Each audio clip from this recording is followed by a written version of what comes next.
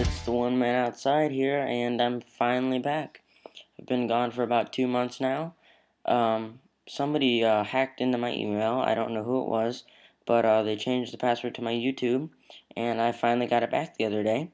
So I'm very happy about that. So now I can start making videos for you guys again. And uh, let's just get to what we're doing today. Uh, today I'm going to be showing you how to get Willow Tree. Um, it's free, and it's only one one simple download. There's no surveys, nothing like that.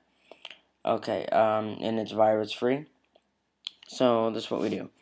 Um, if you don't know if it's going to be the old version or the new version, no matter what, it's always going to be the updated version because it like uh, whenever Willow Tree gets updated, they update it to that download. Okay, so let's just go into Safari here. I can't get it because I am on a Mac, but I can still show you Windows users how to get it.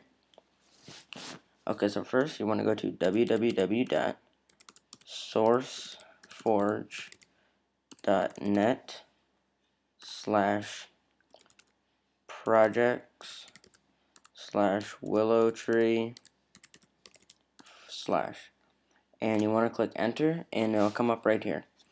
Um, download willow, willow tree beta 11 it's 1.8 megabytes. So uh, that's just really uh, simple how to use. You can see these three people right here they both they all three uh, put a thumbs up here. So it must be pretty good. Um, when I do mod some games um, I will be using my um, PC or or I might be using this. It depends on what it is. Um, yeah, try to put something in the comments below. I like to uh, answer your questions because I get kind of bored just making uh, random videos.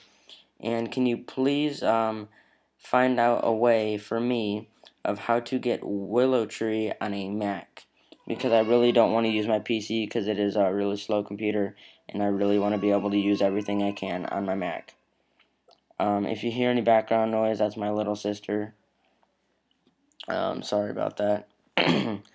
but all you gotta do is click download, and it should start downloading right away. If it, I see right there, I know it shows that I uh, that I have this, but if I open it up, um, it'll show up with my uh, crossover. Click open, and it won't open up.